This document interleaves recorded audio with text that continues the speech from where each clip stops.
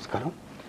గురుగారు నార్మల్గా అందరికీ నార్మల్ జ్యోతిష్యం అని చెప్పి చాలా మందికి నాలెడ్జ్ ఉంటుంది. ఈ భృగునంది నాడీ జ్యోతిష్యం యొక్క ప్రాముఖ్యత ఏంటి. దాని యొక్క ప్రాముఖ్యత వివరించండి. ఓం శ్రీ మహాగణాధిపతే నమ. మాతృదేవోభవ పితృదేవోభవ ఆచార్య దేవోభవ. భృగునంది నాడీ జ్యోతిషం భృగు మహర్షి నందీశ్వరుడు కలిసి తయారు చేసినటువంటి నాలెడ్జ్ అనమాట నాలెడ్జ్ని నాడి అని అంటారు. నాలెడ్జ్ ఆఫ్ అస్ట్రాలజీ జ్యోతిష్య పరిజ్ఞానం కాబట్టి ఇది భృగునంది నాడీ జ్యోతిష్యం అనేది. లగ్నం మీద బేస్ అయి ఉండదు. అందువలన ఎగ్జాక్ట్ టైం ఆఫ్ బర్త్ లేకపోయినా కూడా మేము జాతక చక్రం తయారు చేసుకొని దాని మీద ఆధారపడి ఒక్కొక్క వ్యక్తి యొక్క జాతకం క్షుణ్ణంగా చెప్పడం జరుగుతూ ఉంటుంది. అర్థమైంది? ఓకే. ఓకే గురుగారు ఈ జాతకంలో లోపాలు ఉన్నాయి అన్నట్టుగా మనకు ఎట్లా తెలుస్తుంది? ఒక మనిషి యొక్క జాతకాన్ని చూస్తే. జాతక చక్రం చూస్తే ఈ అసలు జాతక చక్రం అనేది ఎలాంటిది అంటే గ్రహాల పొజిషన్ తెలియజేస్తుంది.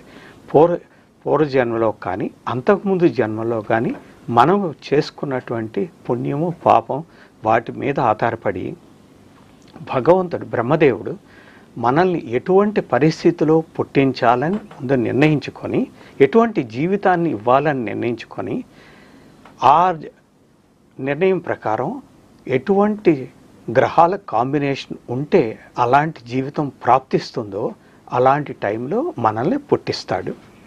సో ఆ గ్రహాల కాంబినేషన్ స్టిల్ ఫోటోగ్రాఫ్ లాంటిది. అది చూసి మేము ఆ వ్యక్తి యొక్క జీవితం ఎలాగున్నది అనేది మేము చెబుతాము. దోషాలు ఏమైనా ఉంటే వాటికి పరిహారం చెబుతాము. వాటిని కొంతవరకు పూర్తిగా చెడుని సరిచేయలేకపోయినా దాన్ని కొంత ఆ ఉధృతిని తగ్గించేటట్లుగా పరిహారాలు చెప్తాం అన్నమాట. పూజలు పునస్కారాలు ఇలాంటివి చెప్తాం ఓకే గురుగారు ఈ జాతకంలో పుట్టిన పిల్లలకి ఈ ఎలాంటి పేర్లు పెడితే వాళ్ళ భవిష్యత్తు బాగుంటుందంటారు. వాళ్ళ పేర్లను ఎట్లా నిర్ణయించవచ్చు అంటారు? నేను నా పిల్లలకి మాకు ఇష్టం వచ్చిన పేర్లు పెట్టాము. అలాగే నేను ఎవరికైనా మీకు నచ్చిన పేరు ఇష్టం వచ్చిన పేరు పెట్టుకోండి. అంతేగాని ఏదో ఒక నా పే నక్షత్రం అది ఏదో ఒక అక్షరం మీద నేను చెప్పను. ప్రతి వాళ్ళని వాళ్ళకి ఇష్టం వచ్చింది అయితే వాళ్ళని సంస్కారవంతుగా బుద్ధిమంతులుగాను తర్వాత వాళ్ళకి మంచి ఎబిలిటీస్ ఉండేటట్లుగాను వాళ్ళని పెంచండి అని చెప్తాను.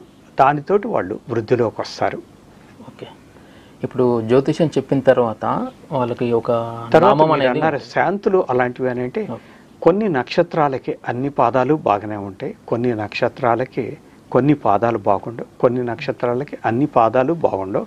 వాటికి శాంతులు చేసుకుంటూ ఉండాలి. అందువల్ల అది ఆ, జ్యోతిష్యంలో మనం పూర్తిగా జ్యో జ్యోతిష్యం చూపించినప్పుడు వాళ్ళకు ఒక నామం అనేది వస్తుంది.